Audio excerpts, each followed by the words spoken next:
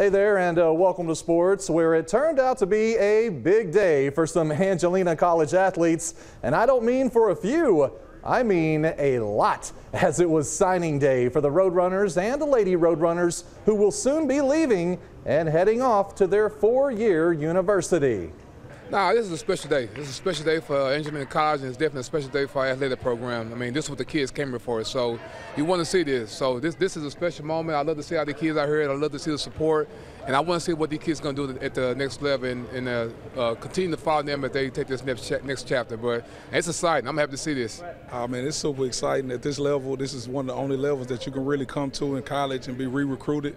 So I love to see our kids. There's a lot of their goals, a lot of their dreams coming true. So um, this is a this is a beautiful day for everybody here, and especially the community to, to celebrate um, great achievement. Yeah, I feel really excited to start a new chapter at Old Dominion. I'm I feel really, really excited, and I can't wait to start practicing and everything.